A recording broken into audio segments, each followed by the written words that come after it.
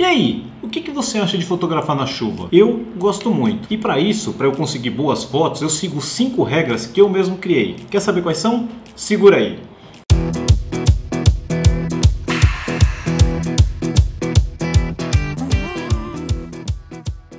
Antes de começar a chuva, aproveita que você está aí abrigado, já se inscreve no canal e clica no alerta para não perder os próximos vídeos. Mas vamos lá. Eu gosto muito de fotografar. Para mim, não tem tempo ruim quando o assunto é fotografia, mas tem dois períodos no ano que me atraem mais. Um é o inverno. Primeiro, por conta da temperatura. Eu adoro o frio. E depois, por conta das cores do céu.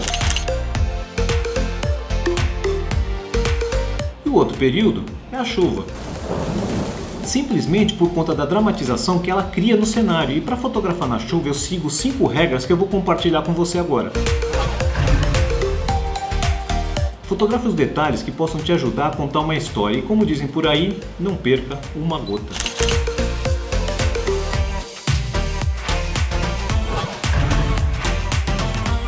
Leve com você pelo menos duas lentes, uma grande angular para fazer cenas mais abertas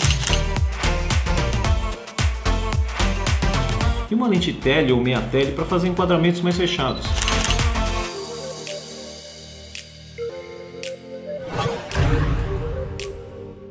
Uma das coisas interessantes em fotografar na chuva é que o piso pode se transformar num espelho. Muitas vezes o chão pode ser seu foco.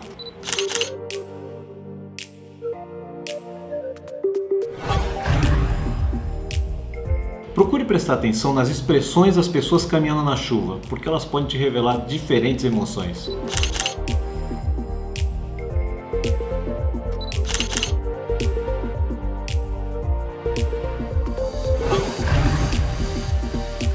Além de proteger o equipamento e você, ele pode se tornar interessante dentro do contexto.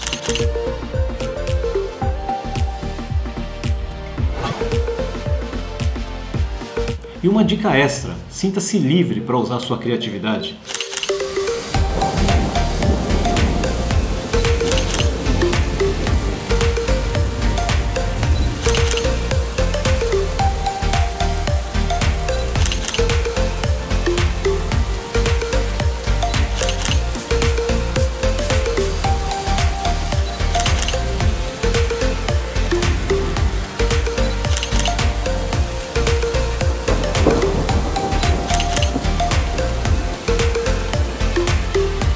Espero que você tenha gostado desse vídeo. Se gostou, curte, compartilhe e deixe seu comentário dizendo qual foi a sua experiência fotografando na chuva. E a gente se vê no próximo vídeo. Até lá!